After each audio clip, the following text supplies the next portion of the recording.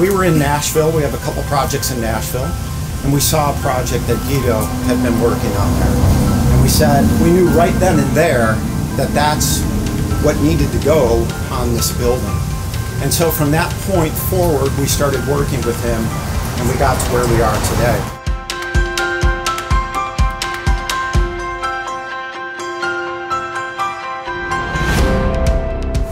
Like to go to a place and explore its culture, you know, through photography and um, a bit of like, I, I guess you could say, storytelling and finding out interesting aspects of a community, and then going from there, adapting it into a mural. So that's what I've done here.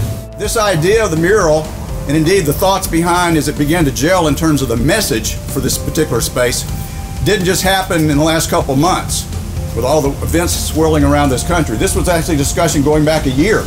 But what we're doing here today is something that needs to be done. We're, we're, he we're hearing voices and stories that perhaps were not told in the past. But they're real stories. It's real history. And it's brought out through the work, through the, through the life of Miss Harris and the, the students she touched and the lives she transformed. And it carries on today. And so to have this commemoration right here, and again, this it wasn't an idea that just started last month. this has been in the works for some time, but a great, a great message of unity.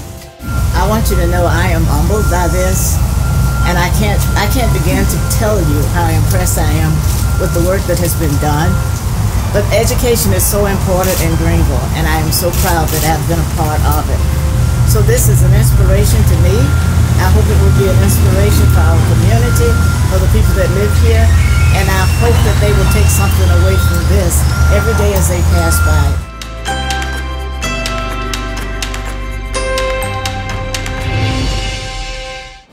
Key quote from Leola Robinson, but what your mural will do, it'll do what a lesson won't do. So for kids that pass by here every day, they'll be able to take a look at that mural and identify with it on some level. So and she continues, when you see art, people gather different things from what they see. And I think that's the effect this, this piece, piece might have.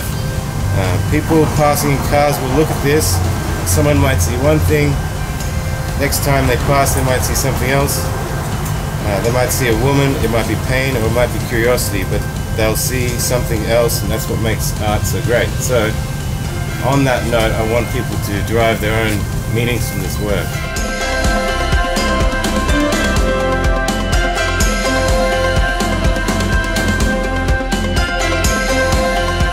Guido's work will help remind us every day the power of one person person like Pearlie Harris has to transform the future by empowering, empowering our children today.